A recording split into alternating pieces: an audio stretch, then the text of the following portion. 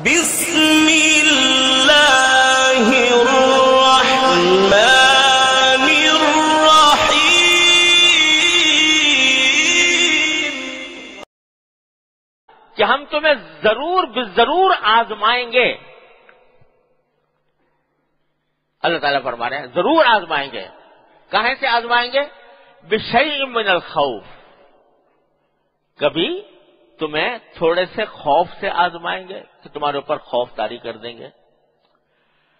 वलजू कभी भूख से आजमाएँगे, माशी मुश्किलात पेश आ जाएँगी। व नक्सी मिनल अमवाल, तुम्हारे माल में कमी हो जाएगी। वल अनफुस, कभी तुम्हारे जानों में, यानी तुम्हारे जान पहचान के लोगों में कमी हो जाएगी, इंतकाल हो जाएगा। वह समरात तुम्हारी पैदावार में कमी हो जाएगी।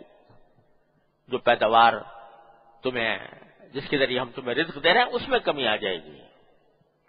ये आजमाइशें आएँगी तुम्हारे ऊपर। आज इतफाक से देखो अपने मौजूदा हालात को। तो सारी चीज़ें जमा है। खौफ है? है कि नहीं? हर इंसान के, हर इंसान को खौफ, पर खौफ है। अनजाना खौफ के पता नहीं किस वक्त क्या हो जाए। किसी की जान माल आबरू महफूज नहीं।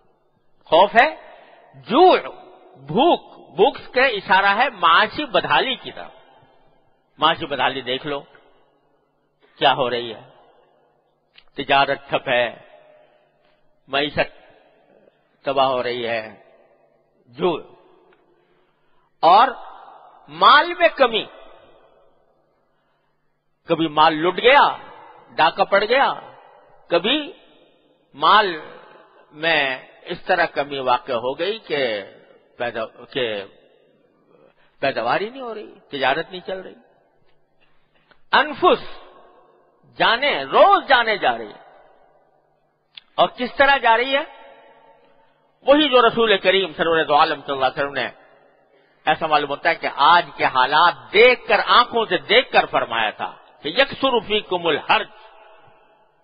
तुम्हारे अंदर आखिरी जमाने में कत्ल बहुत ज़्यादा, हर्ज बहुत ज़्यादा हो जाएगा। साहब क्या ने पूछा, हर्ज क्या चीज़ है? तो आपने फरमाया कि कत्ल। कत्ल बहुत हो जाएगा। और फिर ये फरमाया, ऐसा कत्ल, इस तरह का कत्ल कि ला युदरा मन कतल हूँ व फीम कुतिल। पता नहीं चलेगा कि किसने कत्ल किया और क्यों किया। देख लो आज के हालात।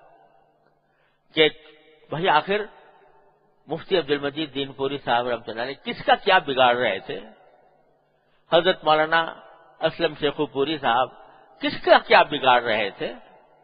कोई दुश्मनी थी, कोई सियासत थी, कोई तंजीम थी, कोई फिरकावारियत थी, कुछ भी नहीं। क्यों कत्ल हुए? किसने कत्ल किया और क्यों कत्ल किया? पता ही नहीं।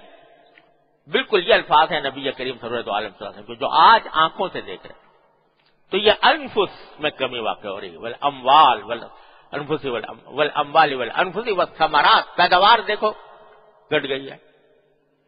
मालूम हुआ कि साहब, गंदुम नहीं आ रहा, आटे की कमी हो गई, वगैरह वगैरह। सब चीज़ें जमा है।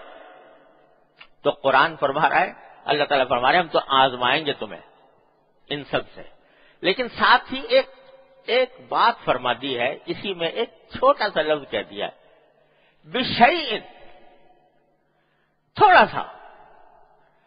यानी, ऐसा नहीं होगा कि यह खौफ दायमी हो यह भूख दायमी हो यह जानों का जिया दायमी हो, और अम्मालों का जिया दायमी हो। थोड़ा सा। यह और बात है कि हम जैसे लोगों को ये थोड़ा भी बहुत लग रहा है, लेकिन अल्लाह ताला फरमाते हैं, ये थोड़ा सा आजमा, थोड़ी सी आजमाइश आएगी।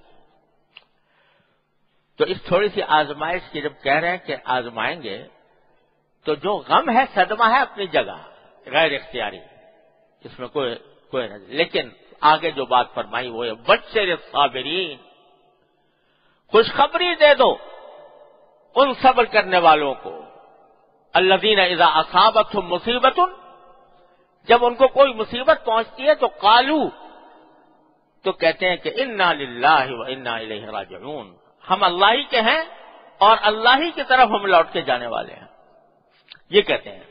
मेरे हज़रत फरमाया करते थे, हज़रत, हमारे हज़रत आरिफ से रहो कि देखो, अल्लाह ताला ने फरमाया कि जब मुसीबत पड़े या कोई गम आए, तकलीफ़ आए तो क्या फरमाया, कह दें।